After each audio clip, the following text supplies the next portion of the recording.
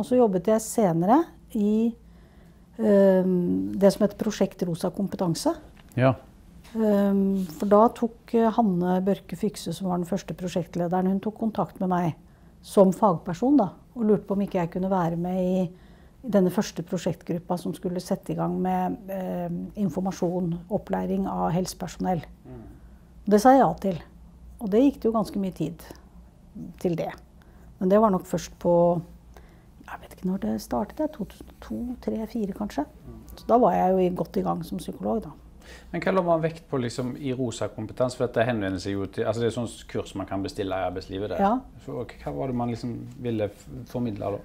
Det- Vi ville jo forsøke å gjøre noe med holdninger og kunnskapsnivå i første rekke. eller altså Første omgang så gjaldt det jo helsepersonell. da. Mm. familievernet f.eks.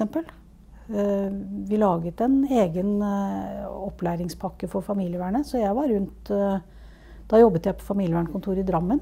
Så jeg var rundt i Buskerud på de fire familievernkontorene som ligger der, samt et par i Vestfold, vel. Altså i mitt distrikt, liksom. Dekket mitt distrikt, da. Med den kompetansepakken. Um, og det var jo å begynne på scratch, det. Folk, uh, veldig varierende hva folk visste og ikke visste om dette. Og jeg husker også jeg underviste da disse mm, eh, helsesøstrene fikk, eh, fikk eh, tillatelse til å eh, skrive ut p-piller til eh, skolejenter, skoleungdom. Så var kravet at de skulle gjennom en, en opplæring, eh, sånn seksuallivsopplæring. Og noe, en del av det var da om homofile og lesbiske. da, Vi sa jo ikke skeive den gangen. Og jeg husker det var ganske, Jeg var nede på høyskolen i Porsgrunn og fikk en del helsesøstre fra ja, jeg tror de kom fra Telemark. da. Det var ikke lett, altså. De var så anti og så hatske at hun som var eh, og stilte så mye ekle spørsmål, at hun som var kursleder, hun kom til meg etterpå, eller i pausen, og, og unnskyldte. Og sa jeg, jeg dette må jo være vanskelig for deg å, å unnskylde på vegne av og sånn. Og tror hun tok fatt et par stykker og sa at nå må dere slutte. For dette er faktisk et kurs som dere må gå på, og dere må oppføre dere. Det var ikke morsomt.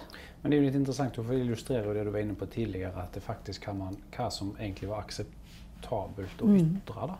Ja, Og hvordan det har endra seg bare på egentlig ganske kort tid. ja da, det har det. Som i ytringer som i dag ville jo bare blitt slått ned på. Ja. Altså, det hadde vært helt, egentlig utenkelig at noen hadde sagt det. Ja, og det er ikke så lenge siden heller. ikke sant? Her er ikke, dette er ikke 20 år siden engang. Nei. Dette må ha vært i 2004-2005. Husker det var en som satt på første benk med sånn kniplingbluse, sånn hvit kniplingbluse og med lite gullkors i, i halsen. Hun var altså så fæl. Det, da husker jeg at jeg var, tenkte at jeg, jeg er glad jeg kan stoffet mitt, og jeg er glad jeg er voksen, og, ikke og jeg er glad jeg vet at jeg ikke vippes av pinnen av dette her, for det kunne jeg veldig fort da. Det var vel det hun syntes hun eh, så koordinatoren for dette kurset også, da, at dette gikk litt langt.